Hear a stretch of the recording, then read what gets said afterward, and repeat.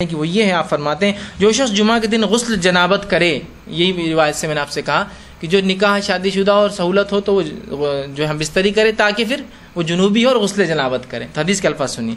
जो शख्स जुमा के दिन गस्ल जनाबत करे और पहले वक्त में ही चल पड़े, गस्ल जनाबत किया और अव्वल वक्त में जुमा की कहाँ चल पड़ा? मस्जिद की तरफ़ चल पड़ा चल पड़े। तो गोया इसने अल्लाह के तकर्रब के लिए अल्लाह की राह में एक ऊँट क़ुरबान किया, एक ऊँट ज़ुबह किया, एक ऊँट सदका किया, जो कुछ, अल्लाह के तकर्रब में, अल्लाह के नज़दीक। फिर फरमाते हैं, और जो दूसरे वक्त जाए मतलब जो अव्वल वक्त में नहीं गया सेकंड फ़ेज़ में गया, दूसरे वक्त में जाए तो उसे एक गाय अल्लाह की तकर्रब में, अल्लाह से क़ुर्ब हासिल करने के अंदर उसने किया, ऐसा उसको सवाब मिलेगा।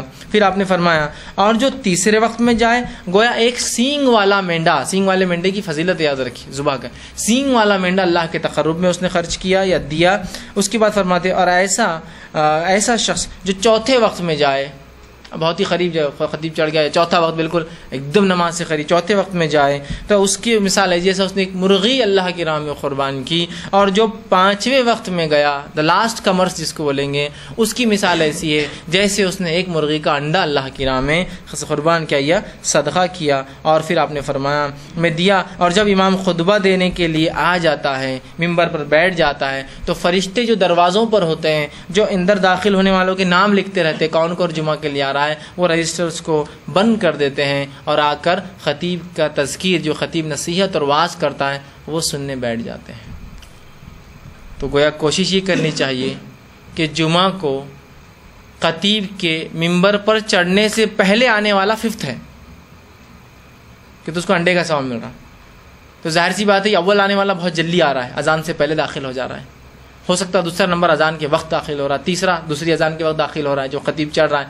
लेकिन ये तमाम लोग जो है, ख़तीब के मंबर पर बैठने से पहले आ रहे हैं, इसके बाद तो फरिश्ते अपने रजिस्टर्स बंद करते हैं और आकर वाज नसीहत सुनने बैठ जाते जो ख़तीब दे रहा है। समझ रहे हैं बात को? तो कोशिश कीजिए जुमा के दिन जितनी जल्दी हो सकता है हम चल पड़े, है ना? लेकिन क्या होता है चीज़ों की अहमियत जब से तब तक समझ में नहीं आती है ना तो लोगों को अव्वल जाना, दुवम जाना, इसकी अहमियत भी नहीं समझती। ऐसा होता है ना, वापस नहीं समझती। लेकिन अगर कोई कह दे कि क्रिकेट मैच है, इंटरनेशनल लेवल तो छोड़ दीजिए, लोकल स्टेट मैच है, और मेरे पास कुछ टिकट्स है। अब टिकट्स ऐसे है कि वो तो एक स्पेशल वीआईपी लॉन होता है, उसके बाद जनरली स्टेडियम्स में नंबर से नहीं होते हैं। लोग तरतीब में बिठाते जाते जैसे लोग आते हैं। तो जो सबसे वो लाएँगा, वो सबसे नज़दीक सीट पाएँगा और सबसे नज़दीक से गेम देख सकता है। तो वहाँ कैसा उजलत करता है आदमी? कि जल्दी जाकर वहाँ बैठेंगे तो नज़दीक से दिखेगा। कोई सेलिब्रिटी आ रहा है, कोई ऐसा शख्स जो स्टार हो, चाहे स्पोर्ट्स के अंदर हो या फ़िल्मों के अंदर फला हो तो उसको देखने के लोग कैसे आगे खड़े होना पसंद करते उसके लिए जो टिकट जो कीमतें हों, है ना? अव्वल। क्योंकि उसको अहमियत दी जा रही है। मैं ये कहना चाह रहा हूँ, चुमा की भी अहमियत समझिए।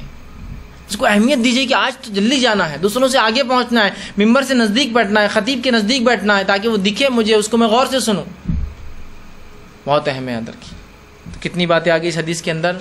जनाबत का गसल, जल्दी जाए, पाँच वक्त बता दिए गए, पहले वक्त में जाने वाला ऊँट की कुर्बानी के बराबर सवाब, गाय की कुर्बानी के सवाब, मेंढे की कुर्बानी का सवाब मुर्गी और फिर अंडे का आखिरी। और इसके बाद तो फिर रजिस्टर क्लोज है, फरिश्ते जाकर सुनते बैठ जाते हैं, जो खतीब वाजो नसीहत करता है। इसी तरह जो हमको जुमा में किए जाने वाले